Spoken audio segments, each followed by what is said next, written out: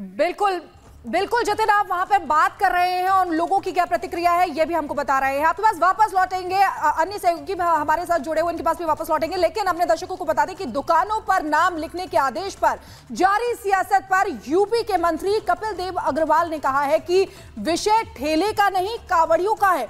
और क्या कहा है? आइए आपको सुनवाते हैं। जिला प्रशासन से हमने किया था कि ऐसे सब लोग जो हिंदू देवी देवताओं के नाम पर अपने ढाबे होटल चलाते हैं और अधिकांश रूप से मुस्लिम समाज के लोग होते हैं। उनमें कावड़िए उनकी दुकानें बैठते हैं, खाते हैं और वो नॉन वेज बेचते हैं। यानी देवी देवता का नाम हिंदू का और बेचते हैं नॉन वेज उन पर प्रतिबंध लगना चाहिए, उनके नाम की पहचान होनी चाहिए, ताकि जो कावड़ यहाँ बैठा जाए, बैठे। हमें न किसी के नॉन वेज बेचने बाबत के कावड़े तो बिकेगा ही नहीं। कावड़ का बिछे कावड़े तो नहीं बिकेगा। पर सामान्यतः भी अगर कोई नॉन वेज बेचता, बेचिए नॉन वेज खाने वाला खाए। पर हिंदू देवी देवताओं के नाम पर दुकान खोल करके नॉन वेज नहीं बेची, ये हमने आग्रह किया था। उसी के संबंध में प्रशासन ने कार्रवाई की है। इसमें जिस प्रकार से अन्य पॉलिटिकल लोग, चाहे श्री अखिलेश यादव हों, चाहे ओवैसी हों, जो इसको एक सामाजिक और एक हिंदू मुस्लिम का तूल दे रहे हैं ये हिंदू मुस्लिम का विषय नहीं है। और हमारी सहयोगी अंजलि भी हमारे साथ बनी हुई है। अंजलि, आप शामली में इस वक्त मौजूद हैं। देखिए, सवाल यहाँ पर आस्था का है। अगर कावड़िए जा रहे हैं 250 किलोमीटर का सफ़र तय कर रहे हैं तो उन्हें शुद्धता का ख्याल रखना पड़ता है। और इस दौरान वो अपने परिवार के लोगों से भी नहीं मिलते हैं। अब इस पर कुछ ऐसे नेता हैं जो बन रहे हैं मुसलमानों के हितैषी। वो कह रहे हैं, संविधान से खिलवाड़ हो गया, कानून का उल्लंघन है, लेकिन उन्होंने तो अपनी सियासत की ज़मीन खोज ली है। क्या शामली में भी दुकानदार ऐसे हैं जो वाकई परेशानी को व्यक्त कर रहे हैं? क्योंकि मुजफ्फरनगर में किसी को कोई दिक्कत नहीं है। बिल्कुल, लेकिन इस आदेश में प्रियंका, ये भी देखने वाली बात है कि किसी धर्म जाति का यहाँ पर नाम नहीं लिया गया है। बस सभी दुकानदारों से कहा गया है कि जो मार्ग कावड़ यात्रों के जो कावड़ यात्रों के रास्ते में पड़ता है, जो भी दुकानें पड़ती हैं, वहाँ पर उनको नाम लिखना ही होगा। और ये मुजफ्फरनगर हाईवे से सीधा यहीं पर कावड़ यात्री आते हैं। आपको बताते चलो और पीछे दिखाइएगा, हनुमान मंदिर है। यहीं पर ही उनके विश्राम करने की व्यवस्था की जाती है। अब इस जगह पर कई दुकानें हैं। खाने की यहाँ पर आइए, हम लोगों से बात करते हैं, क्योंकि ये आदेश शामली के लिए, यानी कि सहारनपुर रेंज के लिए अभी हाल फ़िलहाल में आया है। तो यहाँ पर क्या इनको नोटिस मिला है? क्या आपको नोटिस मिला है कि आपको अपनी दुकान पर अपना नाम भी नहीं।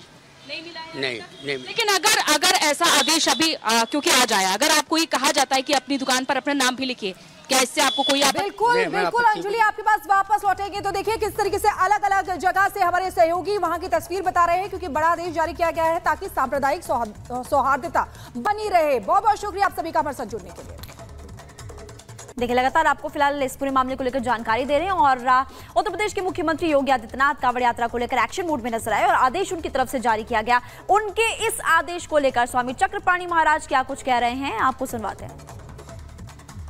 लगता है मुजफ्फरनगर का जो लागू हुआ है कि हर व्यक्ति अपनी पहचान उजागर करे। इस को जो है पूरे देश में लागू कर देना चाहिए। जहाँ जहाँ तीर्थ या पर्यटन स्थल है, तीर्थ स्थल है, वहाँ पर लागू करना चाहिए। क्योंकि थूक जिहाद करके लोग जो है दूसरे की हिंदू सनातनियों का धर्म भ्रष्ट करते हैं। तो कम से कम तीर्थ यात्रियों को या यात्रियों को ये पता होना चाहिए कि जिससे सामान ले रहे हैं वो कौन है। इसकी तो आज़ादी होनी चाहिए। अब असुद्दीन वैसी की बात है, उनके पेट में दर्द हो रहा है, चाहे इस तरह के मौलाना का। तो हमें लगता है कि काफ़ी इनके ठोले ठेले कुमची या इनके फल के दुकान इनके भी लगे होंगे जो नाम बदल के वैष्णो ढाबे टाइप के करके चलवाते होंगे। इसलिए इसलिए एक्सपोज हो रहे हैं इसलिए पेट में दर्द है। रही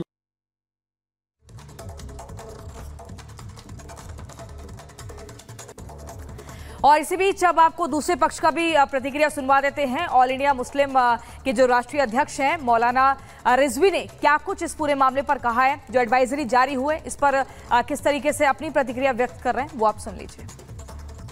तो इसका मतलब लॉ एंड आर्डर से मुतालिक है।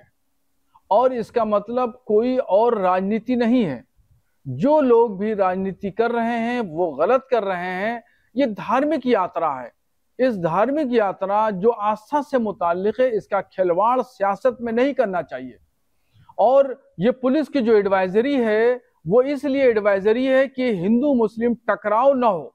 मगर अखिलेश यादव ने इसको एक सियासी रंग दे दिया है और उसको हिंदू, मुस्लिम दो धाराओं में उसको तकसीम कर दिया है। यह निहायत गलत नज़रिया पेश किया जा रहा है। ये मुसलमानों को हिंदुओं से और हिंदुओं को मुसलमानों को लड़ाने की साजिश रची जा रही है। अखिलेश यादव को मैं आगाह करना चाहता हूँ कि वो राजनीति करें, सियासत करें, खूब सियासत करें। इलेक्शन अभी तीन साल बाद आएँगे, फिर वो खूब राजनीति करें। मगर धार्मिक मामला को लेकर के वो हिंदू मुसलमानों के दोनों के दरमियान टकराव पैदा न करें।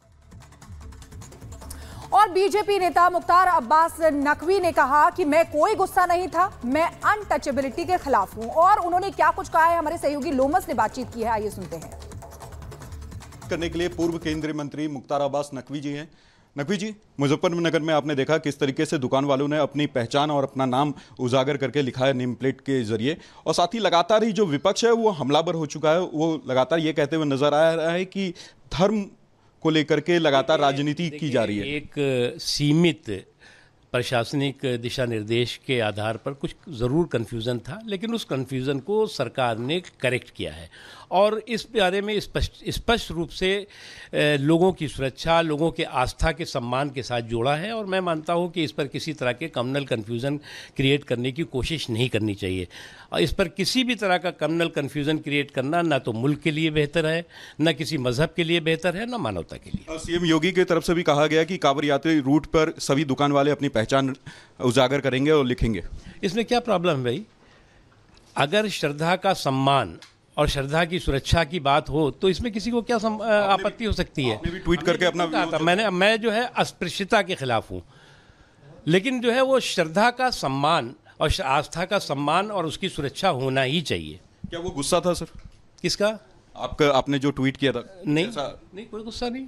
मैं तो कह रहा हूँ कि मैं जो है वो स्पृश्यता जिसे अनटचेबिलिटी कहते हैं उसके हम खिलाफ है। लेकिन आस्था का सम्मान आपने पढ़ा नहीं सम्मान होना ही चाहिए इसके पक्ष में हूँ। लेकिन असुद्दीन ओवैसी तो सवाल उठा रहे हिटलर से कुछ लोग जो है सेकुलर शेरवानी में कमनल कारिस्तानी के कारीगर है तो हम क्या करें?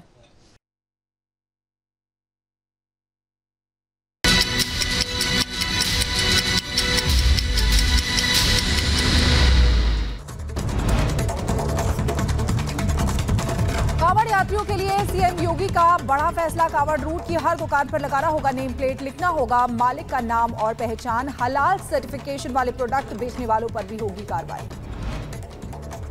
उधर उत्तर प्रदेश के गोंडा में चंडीगढ़ डिब्रूगढ़ एक्सप्रेस के डिब्बे पटरी से उतरे हादसे में तीन से ज़्यादा लोगों की मौत कई लोग घायल हो गए।